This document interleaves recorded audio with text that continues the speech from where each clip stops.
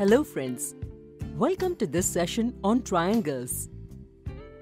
In the previous video, we discussed about the right angle hypotenuse side congruence rule. Today, we will solve a few questions based on it. Let's start with the first question. Triangle ABC is an isosceles triangle and side BD is perpendicular to AC. Now, prove that AD is equal to DC. Friends, if we will prove that triangle ADB is congruent to triangle CDB, then the corresponding sides of congruent triangles are congruent. So, side AD is equal to side DC. Our aim is to prove that these two triangles are congruent. So let's see how to prove these triangles congruent. Since side BD is perpendicular to side AC, in triangle ADB and triangle CDB, angle ADB is equal to angle CDB, which is equal to 90 degrees. Triangle ABC is an isosceles triangle, so side AB is equal to side BC. And respectively, in both these triangles, triangle ADB and triangle CDB, the hypotenuse will be equal and side BD is the common side in these two triangles. Now we can say that these two triangles are congruent by the right angle hypotenuse side congruence rule. And the corresponding sides of the congruent triangles are equal.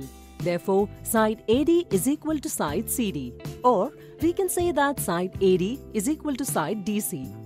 Let's see the next question. In quadrilateral ABCD, the measurement of angle A and angle C is 90 degrees and side AD is equal to side BC. Now prove that quadrilateral ABCD is a rectangle. Friends, what is the definition of a rectangle? A rectangle is a quadrilateral whose opposite sides are equal and each angle measures 90 degrees. It's given that side AD is equal to side BC. And angle A and angle C are right angles. ABCD will be a rectangle if we can prove that side AB and side DC are also equal and angle B and angle D are right angles. So let's start. In triangle DAB and triangle BCD, angle A is equal to angle C. Side DA is equal to side BC side DB is the common side. Therefore, by the RHS congruence rule, these two triangles will be congruent and therefore its corresponding parts and corresponding angles will also be equal. This means side AB will be equal to side CD, angle ADB is equal to angle CBD, angle ABD is equal to angle CDB. Now if we look at triangle DAB, angle DAB is equal to 90 degrees. So by the angle sum property of a triangle, angle BDA plus angle ABD is equal to 90 degrees.